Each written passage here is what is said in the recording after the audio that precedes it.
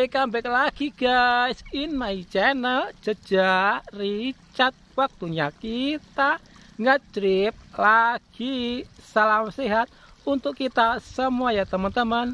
Semoga teman-teman semua selalu diberi kesehatan. Dan ini kita berada di desa Daungan ya teman-teman. Masuk wilayah kecamatan Jatiroco soalnya kemarin itu sempat ada yang request ya teman-teman. Kita disuruh mengekspor salah satu kampung terpencil yang ada di Jatiroto. Namanya itu adalah mungkin kampung Paran ya. Nah teman-teman yang penasaran seperti apa sih kehidupan di kampung Paran ini makanya ikuti terus jelajah kita hari ini. Let's go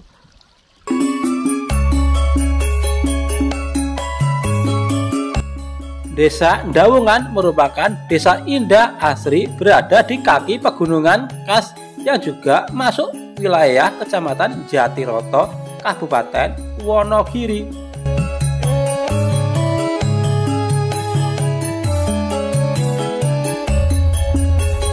Kabupaten Wonogiri ini memang sangat luas ya guys wilayahnya bahkan termasuk salah satu yang terluas di Provinsi Jawa Tengah So, banyak juga ya desa-desa di kabupaten ini yang belum terekspos keindahannya oleh media. Salah satunya ya desa Daungan ini.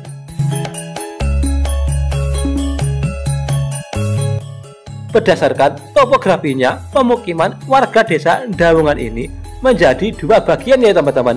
Ada yang berada di kaki pegunungan dan ada juga yang berada di atasnya pegunungan.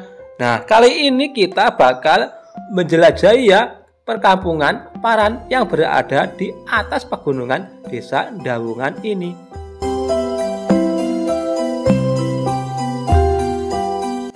Di tengah perjalanan kita ketemu dengan Ibu Sakiem ya guys dan kebetulan banget ibu ini merupakan warga asli dari kampung Paran. Jadi kan terbiasa ya lampang tadi. Biasa. Biasanya Kok keng mriko keng beken cangkring niku. Oh, niku nggih mlampah biasanya. Mlampah, Walah, ki tebih. tebih. Walah. Putu kula niku. Anak kula enten Jakarta kok. Nggih, walah. Berarti pemotong anjen jenengan ajeng teng peken wonten sing ngeteren mboten wonten. Mboten enten. Nah, Mboten ngater. Ngater pit ngaten niku. oh, bedane wingi wonten kateran ngoten nggih. Nggih. Lampang pawon. Tembung ndi men kula niki tengene derek kula jaler niku nggih mlampah mriko. Oh, walah, teputi-puti nggih. Lampah. Mlampah. Lampah nggih. Nggih. Oh, jenengan wonten nggih sinten? Iya, Mbak. Oh, piyambakan ta? Nggih, kula niki anu niku. Batih kula niku mau ninggal nok pun pinten taun, dosa taun ngono. Oh, rupanya Ibu Sakyam ini merupakan ibu sebatang kara yang tinggal sendirian aja di kampung Paran ya teman-teman. Kampung Paran ini memang terpencil ya di atas pegunungan. Dan kula nginggil piyambak tapel atus salas. Bener jenengan niku? Nggih, Oh. Iya. Berarti pun inggil ki ambak ya. nggih, pun tapel atus. Oh, kalian pundi niku? Non, Perbatasan kalian pundi kalian alas namun nggih. nggih berbartesan alas pun. Jalan untuk menuju ke Kampung Paran ini memang nanjak ya guys dan tiada hentinya. Tapi syukurlah kondisi jalannya sudah lumayan bagus ya. kondisi cor-coran gitu.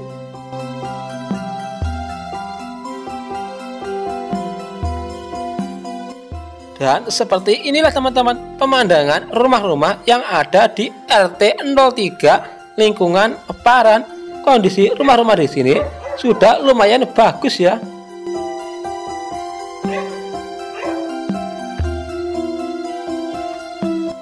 Jika dibandingkan dengan kampung-kampung yang lainnya yang ada di desa Dawungan ini, kampung Paran RT 03 ini memang merupakan yang paling terpencil ya teman-teman. Lokasinya pun berada di paling atas dan sudah dekat dengan wilayah hutan.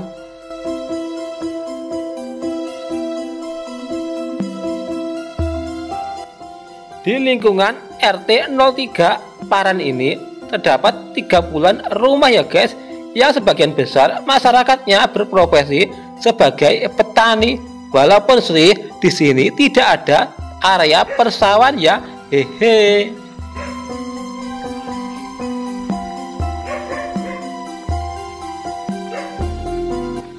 Di sini memang tak ada area persawahan ya teman-teman. Yang ada ya pekarangan rumah yang ditanami tanaman kunyit, jagung, dan lain sebagainya gitu.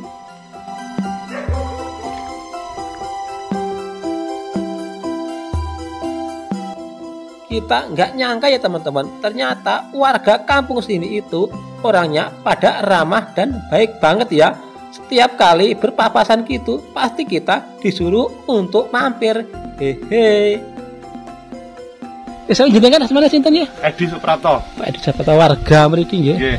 Oh. telu warga RT telu. Oh mriki dusune niki? Paran. Paran nggih. Lah mriki apa pun niki pun dur dhewe iki. Dur dhewe niki. Niki nggih. Sak RT. Oh, niki pun misah kalian kampung-kampung liyane nggih? Hah? Niki napa misah kalian niku dusun-dusun liyane ngoten? Ngoten nggih sak du sak dukuh niku dugi mantep wau. Oh nggih. Terus kan masjid wau. Niku sak dukuh. Terus niku tanggane ndur dhewe nggih? Nggih, ndur dhewe niki paling dhuwur. Dhuwur dhewe. Iku pun alas nggih? Alas. Iki wargane pinten ya?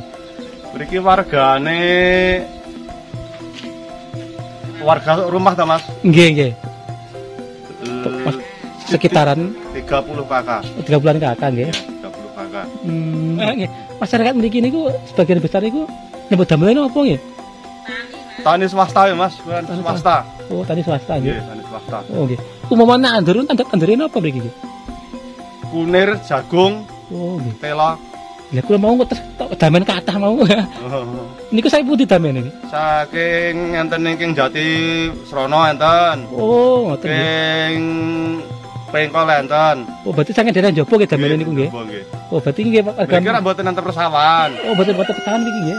Persawahan. Nggih. Senajan kok damen mau berarti iki mboten wonten sawah nggih. Enten tuku. Oh, tuku niku nggih.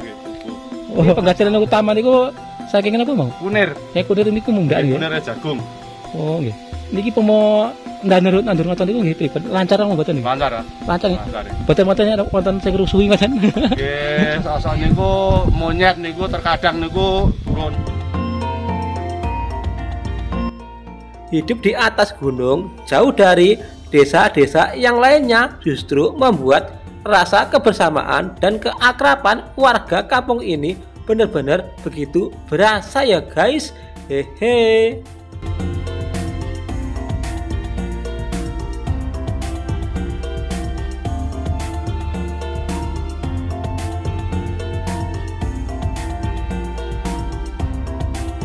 kita sampai juga ya teman-teman di penghujung acara ini saya mau undur diri dulu seperti biasa ya jangan lupa di like share dan juga subscribe biar kita bisa menjelajah terus seantero negeri. Yuk guys, bye-bye.